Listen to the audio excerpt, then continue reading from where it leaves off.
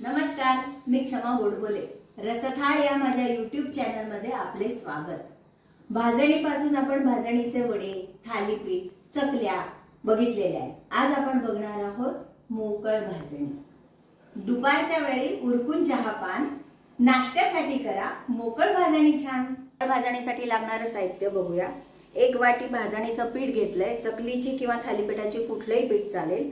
एक कांदा बारीक चिरून घेतलाय मीठ घेतलंय कोथिंबीर घेतलीये ओलं खोबरं घेतलंय दोन मोठे चमचे तेल घेतलंय अर्धा चमचा ओवा घेतलाय एक चमचा साखर घेतलीये अर्धा चमचा मोहरी घेतलीये एक चमचा तिखट घेतलाय अर्धा चमचा हळद घेतलीये पाव चमचा हिंग घेतलाय आणि एक चमचा तीळ घेतले वळूया कृतीकडे. भाजणीचं पीठ घेतलंय.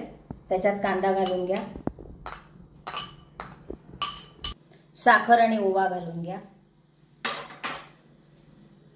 हळद तिखट हिंग घालून घ्या.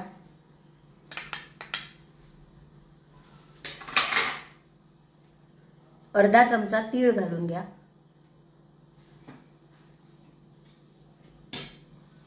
चवीपुरतं मीठ घालून घ्या.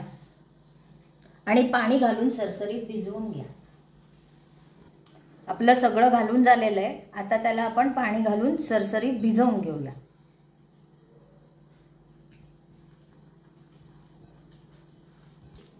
ही कन्सिस्टन्सी येईपर्यंत भिजवून घ्या.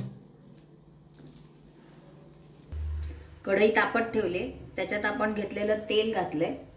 तेल तापल्यावर त्याच्यात मोहरी घालून घ्या.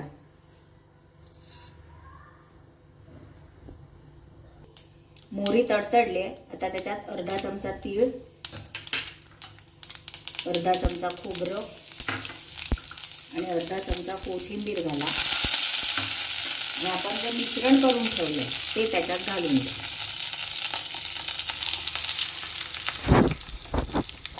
आपलं मिश्रण घालून छान त्याला ढवळून झालेलं आहे.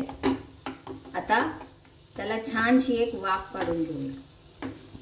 मध्यम आचेवर मधनं मधनं ढवळून घ्या आणि पूर्ण मोकळी होईपर्यंत शिजवून घ्या.